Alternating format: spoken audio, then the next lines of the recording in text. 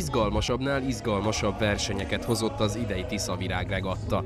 Összesen 28 futamban mérték össze felkészültségüket a versenyzők. Jól sikerült első helyezést értem el, de még van versenyem. 8 éve versenyzek. Kajakozás azért kezdtem, mert közel volt hozzánk a víz, és láttam, hogy a többiek hogyan próbálják ki ezeket a levezést. A kezdeti próbálkozásokat pedig egyre nagyobb sikerek követték.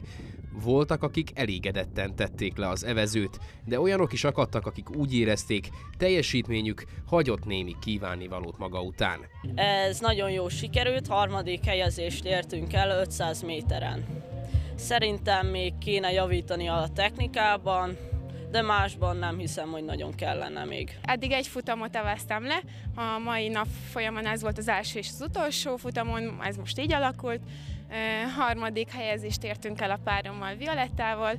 Hát nem vagyunk teljesen elégedettek, jobbra számítottunk. A Tisza Virág Regatta elnevezésű nemzetközi kajakverseny nem titkolt célja, a zentai kajaksport népszerűsítése azokat az eredményeket, amiket elérünk különböző már nemzetközi versenyeken és országos rangú versenyeken, vajdasági versenyeken, azokat, azokat szeretnénk a hazai közösségnek is megmutatni, és szeretnénk a zentai szponzorainknak, támogatónknak is megmutatni, hogy mire vagyunk képesek egy komoly mezőnyben, és hál' Istennek minden évben összejön az a komoly mezőny, ami mondjuk egy országos, van olyan, van olyan futam, ami felér egy országos kisdöntővel, és ez nagyon jó, mert itt is láthatják, hogy tényleg a zentai saját versenyzőink azok, azok igenis jól teljesítenek hazai és külföldi körülmények közt is.